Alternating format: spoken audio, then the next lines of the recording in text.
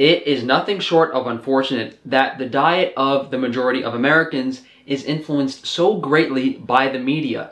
Conventional wisdom, appeal to authority, essentially what we've been told our entire lives. I guarantee you that meat sales have gone down in favor of plant-based alternatives, but they still need people to eat some meat, otherwise their feedlot operations would go to waste. Over 10 articles yesterday on meat not being bad for you anymore. Really? The general consensus of these articles being that people should continue their current consumption of meat as the health impact of cutting back is non-existent and that it would be misleading to suggest people should avoid meat for health reasons. I'm getting sick of all this back and forth BS and figured this was an excellent opportunity to debunk all of the arguments commonly used against meat consumption. Saturated fat and cholesterol, carcinogens, heme iron, TMAO, mTOR, IGF-1, Neu5Gc, nitrates, and environmental pollutants. The first and by far most popular argument is that saturated fat and cholesterol cause heart disease. I think there are far too many arguments on both sides of this, and we can fling epidemiological studies back and forth at each other all day. But the fact that there is evidence on both sides means that we should be looking at mechanisms, metabolic processes in the body, as opposed to looking at these studies. The theory is that saturated fat increases cholesterol and that this cholesterol forms plaques in your arteries leading to heart disease. But the sole reason that cholesterol actually gets stuck in your arteries is because of linoleic acid. When you consume vegetable seed oils, any nuts or seeds high in linoleic acid, the fats in your body become the fats you are eating. In this case, linoleic acid is unnatural to our bodies in such high amounts Therefore, it is inflammatory and our body attacks it. This cholesterol gets attacked in our arteries, causing blockages, leading to heart attacks and stroke. And this isn't limited to heart disease. Linoleic acid causes damage in many cells and metabolic systems in our bodies.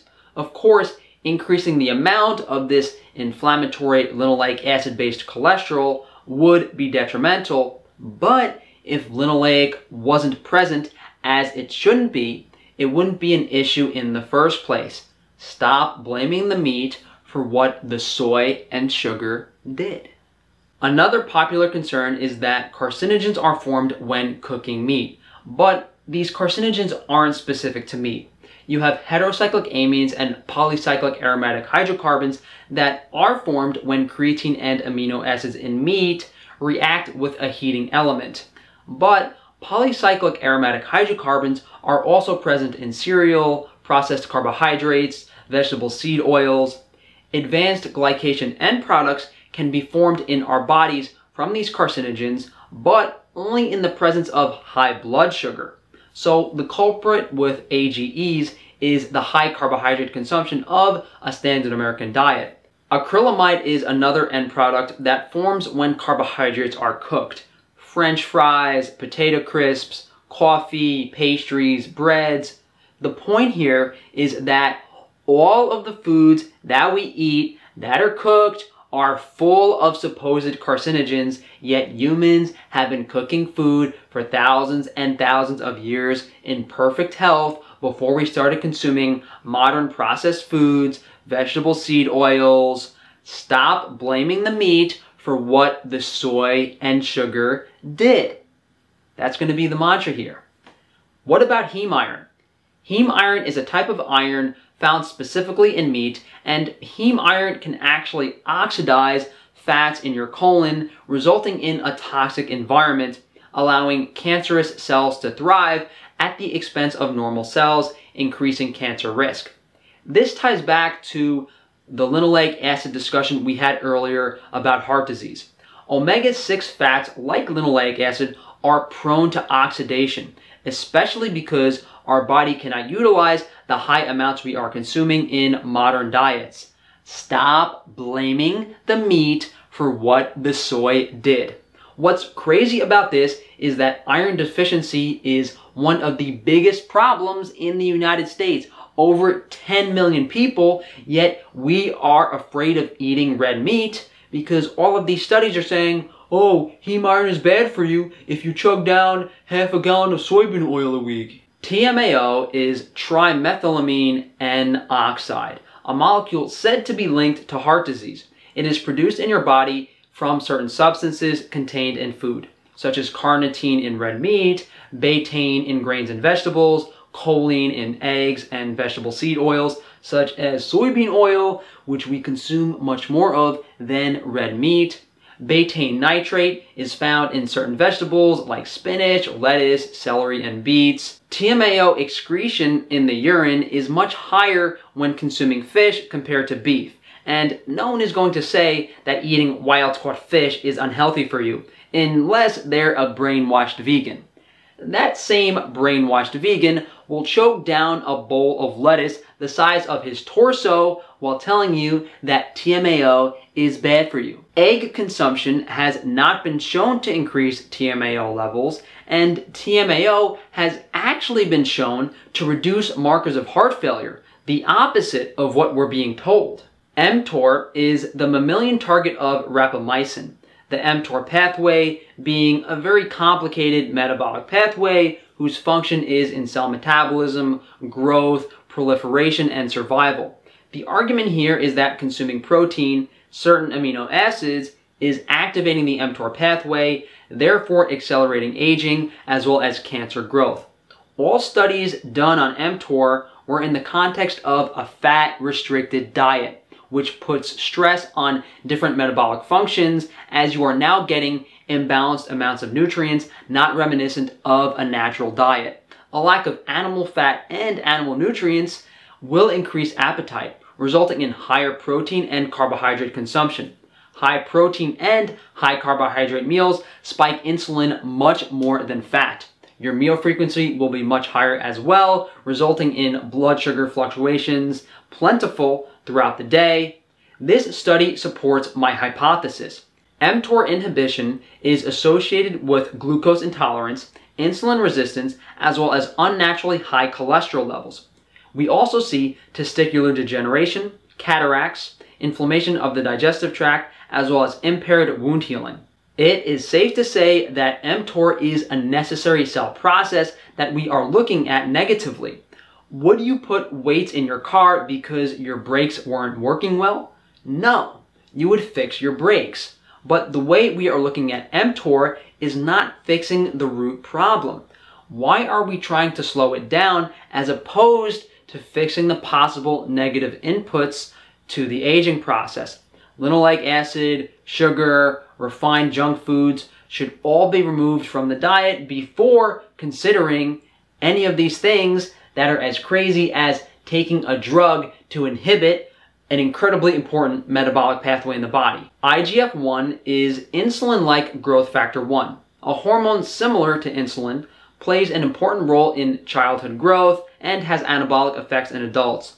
We see that high levels of IGF-1 can promote the growth of certain cancers, but men with low IGF-1 levels had an almost twofold higher risk of all-cause mortality. This is similar to mTOR in a sense that we are trying to limit a necessary part of human metabolism because we can't figure out why the metabolic processes associated with that necessary part of metabolism aren't working properly. Consuming milk has been shown to boost IGF-1 and it's probably why the Maasai tribe were one of the physically strongest groups of people. We can also credit the high dairy consumption in the Netherlands for the impressive height of the Dutch. Neu5Gc is a non-human sialic acid sugar molecule. This molecule is found in most non-human mammals, but human genes mutated thousands of years ago, losing the Neu5Gc gene and gaining excess Neu5AC which is simply a Neu5Gc molecule with oxygen added. So we don't produce Neu5Gc, but can obtain it from eating meat from animals that contain it in their flesh.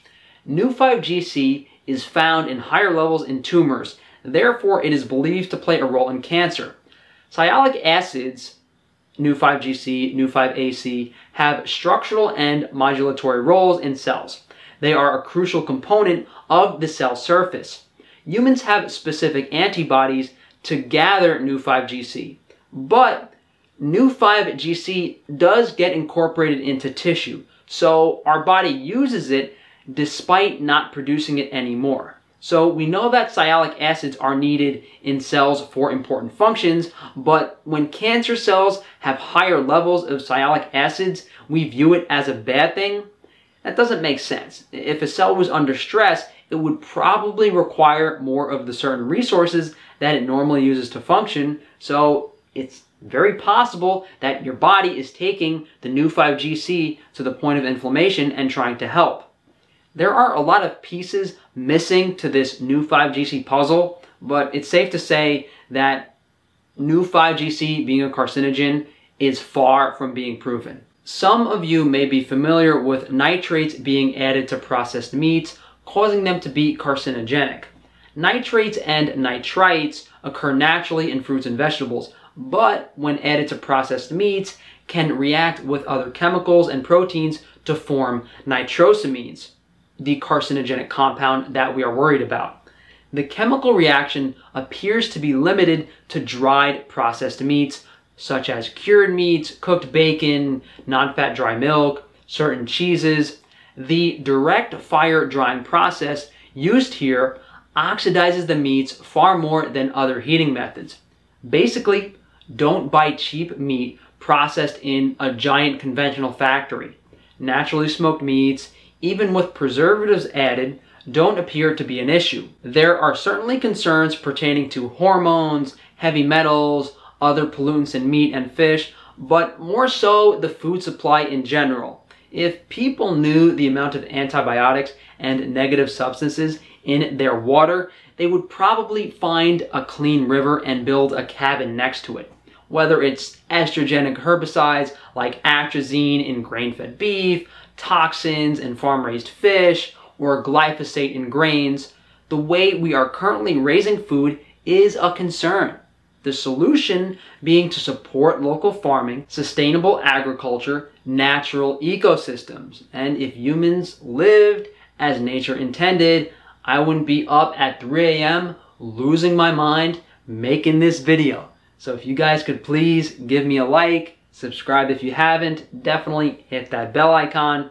If you guys would like to support me further, please check out frankiesfreerangemeat.com. We have a local beef box delivered to your door for less than $10 a pound, and by the time I post this, we're probably going to be out of it. Uh, we have grass-fed Wagyu on sale, offcuts, and honestly guys, the Wagyu is the best meat I have ever tasted in my life, bar none, at the hands of Chef Frankie Boy. You guys can also check out frankiesnaturals.com for minimal ingredients, minimally processed hygiene and cosmetic products if you want to look like uh, a Roman statue after not having slept for three days. Thanks again for joining me, guys. Enjoy the rest of your day. Uh, before I forget, if you guys want to reach out to me for one-on-one health consultations, you can shoot me an email, frank a tufano at gmail.com.